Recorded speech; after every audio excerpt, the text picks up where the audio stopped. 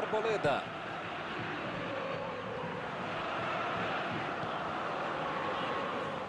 Tomou a bola na hora certa.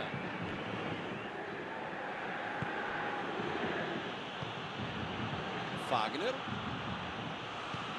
Aí ele pensou, vou botar o cara para correr.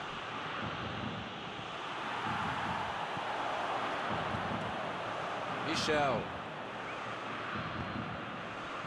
Agora é a vez de Caleri. Chegou junto e conseguiu roubar a bola.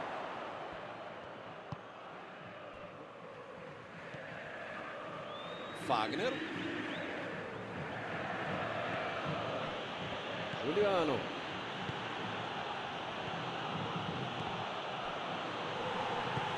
Pablo vai mandar a bola direto para o ataque.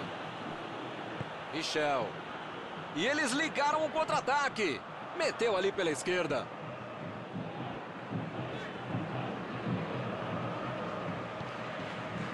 Mandou a bola para o ataque.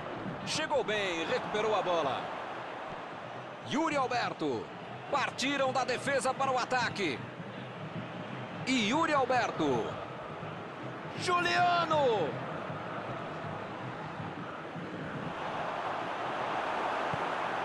Bola na frente. Ele tentou fazer tudo sozinho. Acabou perdendo a bola. Luciano. Luciano abriu o jogo.